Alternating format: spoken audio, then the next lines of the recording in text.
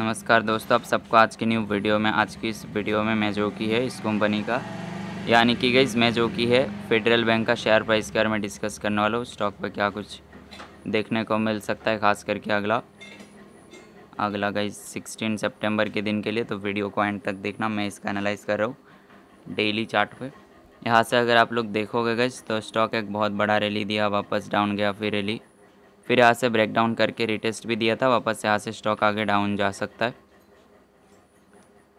तो इसका गाइज़ आप लोग जो सबसे पहला स्ट्रॉन्ग रेजिस्टेंस फॉलो कर सकते हो, वो है 188.15 पे है।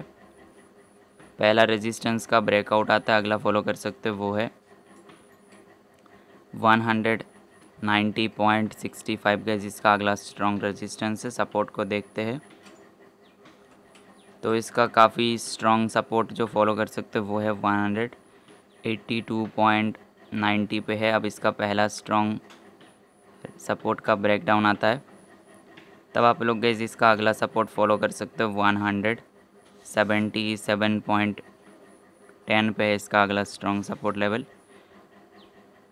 तो आप लोग सारे लेवल्स पे गई फॉलो कर सकते हो। अगर आप लोग मुझसे कांटेक्ट करके स्टॉक से रिगार्डिंग कुछ भी जानना चाहते हो, कुछ भी पूछना है तो अगर इस चैनल का अबाउट पे मेरा कांटेक्ट मिलेगा, मैं मिलता हूँ अगली वीडियो में, तब तक के लिए गए आप सभी को बाय बाय